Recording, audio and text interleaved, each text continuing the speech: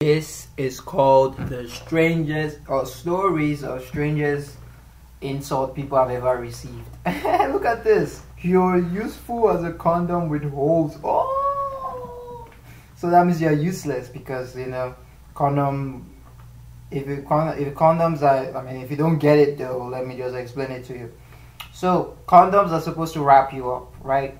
And supposed to not get the girl pregnant. Supposed to not make you come inside or pre-come inside her. Okay, okay. And if there are holes in it, inside a condom, it's there's just it just there's just no way you're going to be protected. It's just so plausible where like the condom is going the um the condom is going to be inside a girl and she might get pregnant. Um, yeah. So you're as useful as condom with holes. You're useless it just means you're useless. You know, you can't protect anything, bro. That easy. Okay, you two are useless as deaf and blind couple. What the hell? Use as useless as a deaf and blind couple. So of course, deaf and blind people can't be together. That's probably what they mean. But and blind couple, it's just it's just, it's just pointless be um them being together. So just that's probably what this person is talking about, man. You dress, oh man, you dressed like an assistant debate coach from Ohio Middle School.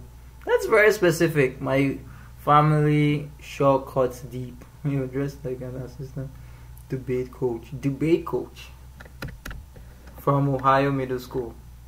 That's very random.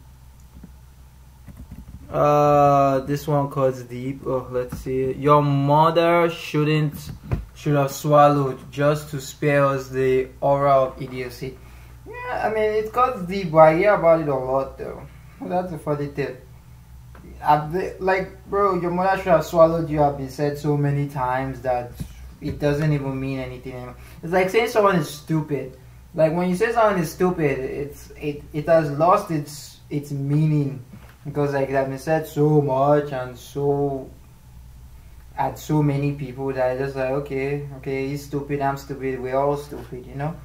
To be fair, I deserve that when I used to be such a jerk. I should uh, I should call you a dildo because you aren't real enough. Ooh. Okay. Some chick turned some chick turned me down at the bar with that line. Woof. Yo, that's what she said.